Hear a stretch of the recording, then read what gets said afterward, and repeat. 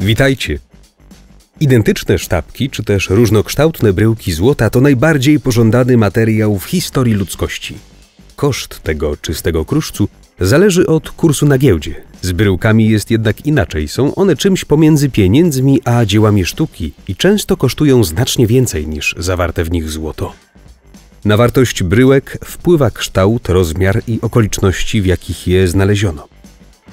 Znaleziska te nie są dziś przetapiane na sztabki, lecz przechowywane w muzeach i kolekcjach prywatnych. A w dzisiejszym filmiku opowiemy Wam o najsłynniejszych samorodkach w historii. Nasza pierwsza historia zdarzyła się 5 lutego 1869 roku. Australijski poszukiwacz złota John Dison kończył już zmianę w kopalni, gdy nagle w korzeniach eukaliptusa odkrył ogromny obiekt. Podejrzewając, że to złoto, zaznaczył miejsce i wraz z nadejściem ciemności wrócił tam ze swoim partnerem Richardem Otesem. Skała, którą wyciągnęli z ziemi, ważyła ponad 105 kg. Nazwano ją The Welcome Stranger, czyli mile widziany gość. Jak się później okazało, samorodek zawierał 70 kg czystego złota. Obecnie taki skarb byłby wart 3 lub 4 miliony dolarów amerykańskich. Niestety nie zachował się do dziś. Najpierw poszukiwacze musieli rozbić go na trzy części, aby go zważyć, a kilka dni później złoto przetopiono na sztaby i wysłano do banku w Melbourne. Z dostępnych fotografii odtworzono dwie kopie The Welcome Stranger. Jedna z nich jest eksponowana w skarbcu Muzeum Melbourne, druga należy do potomków Johna Disona. Bernhard Holtermann przeprowadził się z Niemiec do Australii w poszukiwaniu lepszego życia. I rzeczywiście los uśmiechnął się do niego w 1872 roku, dając mu ogromny kawał kwarcu o wadze 235 kg. Jak każdy górnik Holterman wiedział, że kwarc występuje razem ze złotem, co powinno oznaczać, że w bryle znajdzie się metal szlachetny. Nie spodziewał się jednak, że będzie go tam aż 83 kg. Bernharta wraz ze znaleziskiem sfotografowano, po czym bryłę wysłano do przetopienia. Po przeanalizowaniu zdjęć Współcześni eksperci uważają, że Holterman nie wydobył samorodka, ale wyciął kawałek złotonośnej żyły. Tak czy inaczej, musicie się jednak zgodzić, że ten drobiazg nie umniejsza wartości samego znaleziska. W zasadzie dzisiaj złoto wydobywają górnicy, którzy otrzymują za to pensję. Amatorzy zaś nie tyle chcą się wzbogacić, ile zaspokoić żądze przygód, co nie jest łatwe we współczesnym uporządkowanym świecie. W 2013 roku jeden z takich awanturników przy pomocy wykrywacza metalu odkrył pół metra pod ziemią samorodek złota w kształcie ogona wieloryba lub litery U. Waga znaleziska wynosiła 5,5 kg. Eksperci uważają, że trofeum nie może kosztować mniej niż 315 tysięcy dolarów, ale najprawdopodobniej jego wartość będzie znacznie wyższa jak każdego innego ważącego ponad kilogram samorodka, a co dopiero bryłki takiej urody.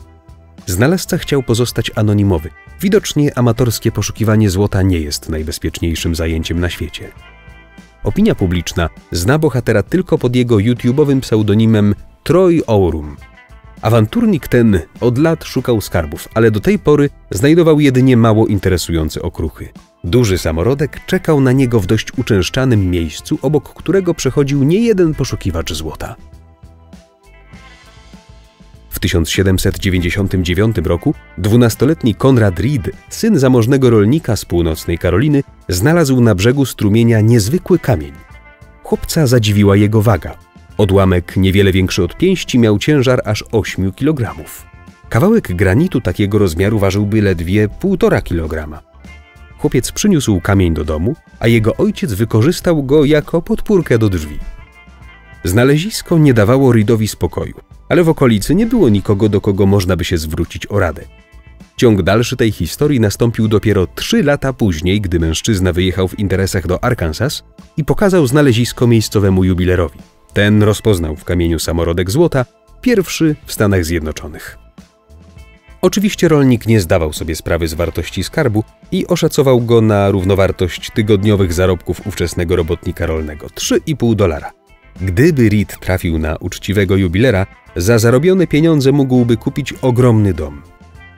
Mężczyzna szybko się zorientował, że zażądał za mało, więc wraz z kilkoma sąsiadami zorganizował firmę wydobycia złota. Później znaleziono tu także większe bryłki. Dziś każdy może zapłacić 3 dolary i spróbować szczęścia w rejonie, gdzie przez ostatnie 200 lat znajdowano góry tego cennego kruszcu. Kopalnia złota Serra Pelada w brazylijskim stanie Para działała przez 10 lat. Od 1980 roku górnicy codziennie wynosili worki z kamieniami z dna kamieniołomu, wspinając się 400 metrów w górę po wąskich drabinach. Wypłacano im 2-3 dolary dziennie plus premie za znalezione złoto. Według oficjalnych danych przez 10 lat wydobyto tu 45 ton złota, choć ta ilość kruszcu jest z pewnością zaniżona. Górnicy większości znalezisk nie zgłaszali, lecz sprzedawali je na czarnym rynku.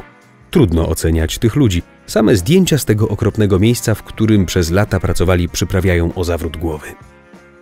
Pod koniec lat 80. niebezpieczną kopalnię, w której panowały nieludzkie warunki pracy, zamknięto, zalano wodą, a wszelkich prób poszukiwania złota zakazano.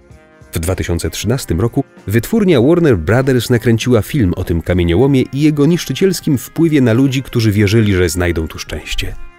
W dole pracowało naraz 100 tysięcy osób i do jednej z nich w 1983 roku uśmiechnęło się szczęście.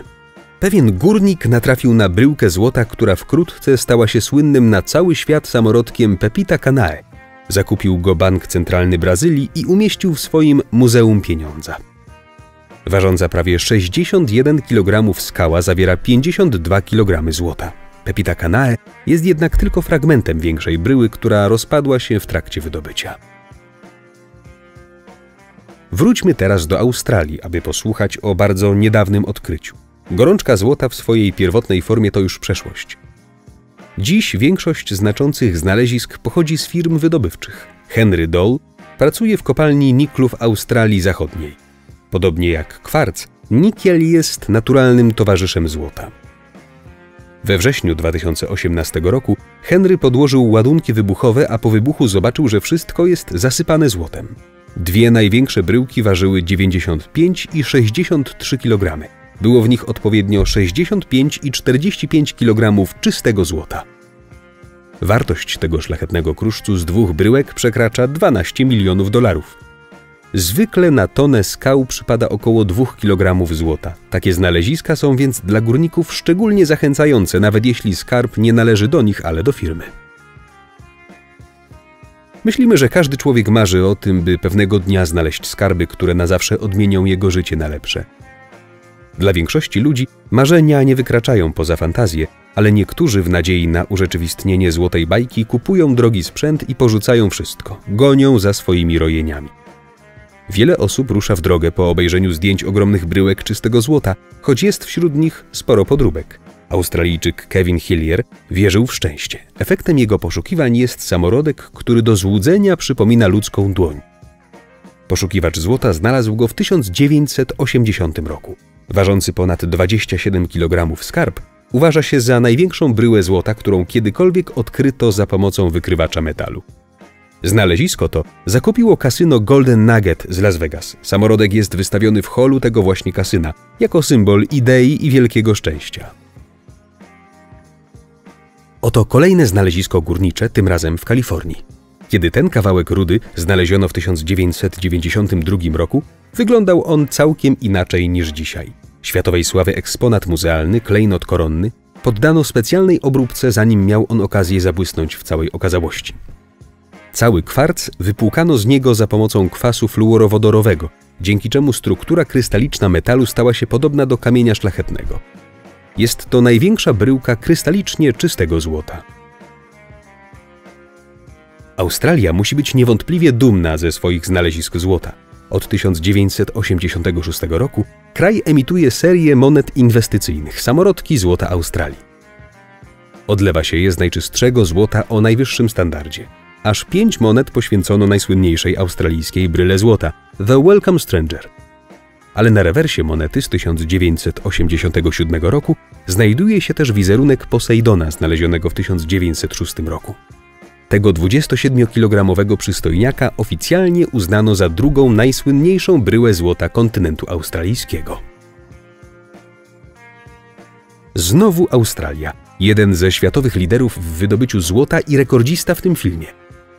W 1871 roku na głębokości ponad 3,5 metra odkryto samorodek Precious. Wbrew nasuwającym się przepuszczeniom, znalezisko nazwano tak na cześć właściciela ziemi, na której znaleziono skarb. Rolnik nazywał się Precious Williams. Jak większość XIX-wiecznych bryłek i ta nie zachowała się do dziś, ale według zdjęcia była naprawdę urocza, więc jej kopia do dziś przechowywana jest w muzeum. To wszystko na dziś. Łapki w górę i subskrybujcie nasz kanał. Do zobaczenia wkrótce.